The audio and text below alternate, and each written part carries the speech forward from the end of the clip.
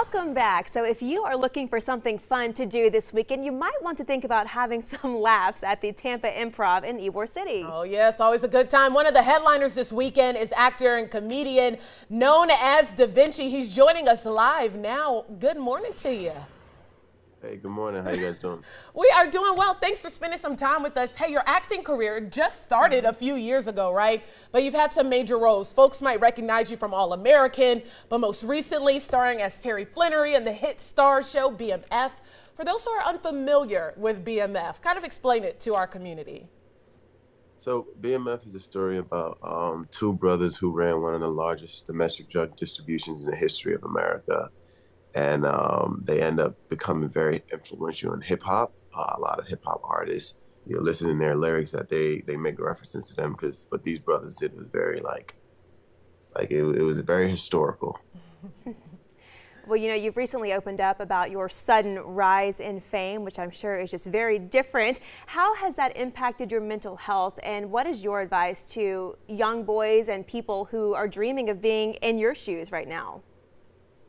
Um, I, I would definitely say you um, be, when when you pray for rain, you got to deal with the mud too. And I I didn't. That's one of the things that I remember hearing Denzel say, and I'm like, what does that mean, really? You know. But you know, when you're you know blessed, fortunate enough to be in this position, you start realizing that it's not really always cracked out to be, and you really gotta make sure you guard your mental health a lot, whether whether that's through therapy, whether that's through your faith in God or, whatever. But you need to find a way to set certain balances in your brain because this business is not a business that that's really conducive to a healthy mindset due to your exposure to the amount of people that it's not normal for the average person to go through. So you definitely got to take certain serious measures with keeping that your brain at a, a homeostasis, you know, state.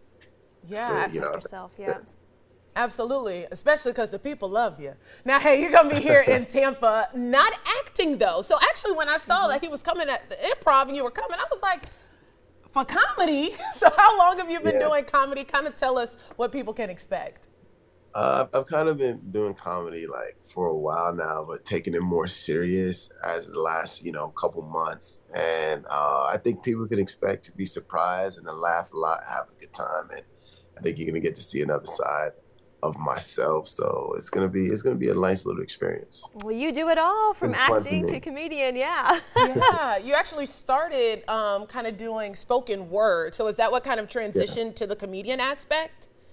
Uh, no. So I was doing spoken word and then rapping, but then I was like, uh, I can't stay in the music business because of certain certain things. But I think comedy came from I did Broadway a year, two years ago in New York, and that was a that was a hell of an experience mm. doing that, being on stage, being being able to perform in front of a live crowd and hearing their gasp, hearing their laugh, hearing them cry with you, like right then and there. So I think that was definitely a fuel that kind of started it. And you know, I've been watching comedy like religiously for mm-hmm. like eight, ten years since I was like a little teenager. So I'm like, you know what, I want to, you know, give this a shot one day. And you never know. If I fail, then it's a story to tell. And if I don't, then you never know. Absolutely. Well, hey, Da'Vinchi, thanks for spending some time with us this morning. I'll be there in the crowd, so I'll let everybody know if you are actually funny or not.